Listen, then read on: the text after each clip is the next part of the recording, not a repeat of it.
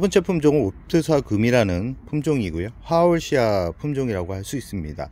이 화월시아 같은 경우는 너무 강한 직광에서 키우면 오히려 독이 되기 때문에 이 예쁘게 키우고 싶은 분들 같은 경우 이 그늘에서 키우는 게 좋습니다.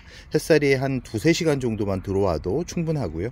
햇살이 이 표면에 직접 어, 닿기보다는 간접적으로 닿는 그런 환경에서 키우면 더 예쁘게 키울 수 있는 그런 품종이고요. 이 옵투사금 같은 경우는 이렇게 변이가 오는데 이 변이가 오는 부분들이 약합니다.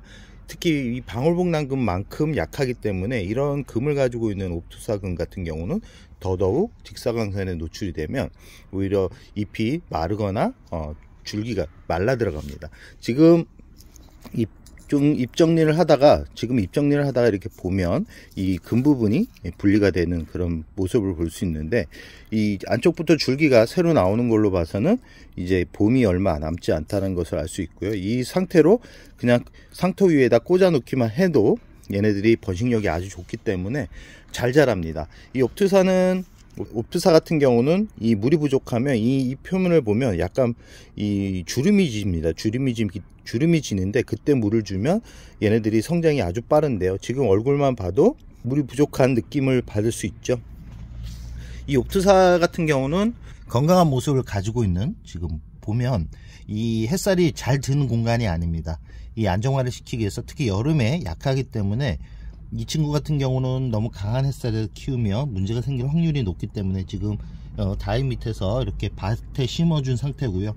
이 자구가 아주 잘 나오는 그런 품종이기 때문에 이 투명한 보석 같은 느낌을 보고 싶은 분들 같은 경우는 이 직사광선보다는 반음지에서 키우는 게 좋다라는 말씀을 드리고 싶습니다. 이 옵투사금 같은 경우는 자구가 잘 나오는 품종이기 때문에 화분을 조금 크게 넉넉하게 쓴다 그러면 아주 풍성하게 키울 수 있고요. 물을 좋아하는 그런 품종이고요. 봄부터 겨울까지 여름은 좀 약하기 때문에 여름에는 물을 너무 과하게 주기보다는 안정화를 시키는 그런 단계에서 머무르는 게 좋고요. 이 분갈이 같은 경우는 한 번에 할 때 뿌리를 어느 정도 다 오래된 뿌리는 제거를 해줘야지만 얘네들이 새 뿌리를 나오면서 또 자구가 풍성하게 나올 수 있다라는 말씀을 꼭 드리고 싶습니다.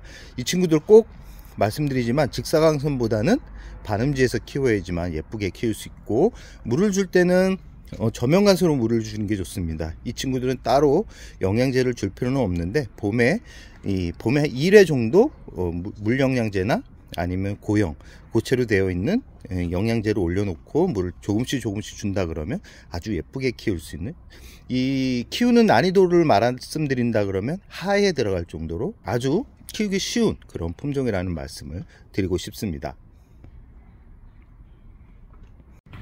네 번째 품종은 이 바이솔이라는 품종입니다. 이 바이솔 많이 키우고 있죠. 이 바이솔 같은 경우는 꽃이 생장점에서 나오기 때문에 많은 분들이 키우다가 지저분해진다라고 생각을 많이 해서 키우다 포기하는 그런 다육이긴 하지만 월동이 가능한 그런 품종이고 생명력이 워낙 강하기 때문에 이 친구 같은 경우는 물만 너무 과하게 주지 않는다 그러면 어렵지 않게 잘 키울 수 있는 그런 품종이라고 할 수 있습니다.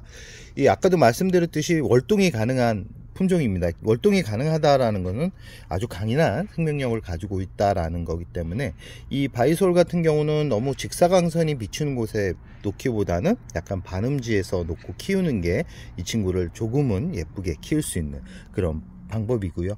이 꽃이 봄쯤에 나오기 시작하는데 꽃이 때가 아주 길게 나오면서 꽃이 화려하게 핍니다. 아마 이 바이솔을 이렇게 보면 얼굴이 참 예쁘다라는 느낌은 들지 않지만 꽃을 보게 되면 와 친구의 꽃이 이렇게 아름다웠나 라는 생각이 들 정도로 어, 매력적인 그런 얼굴을 보여줍니다.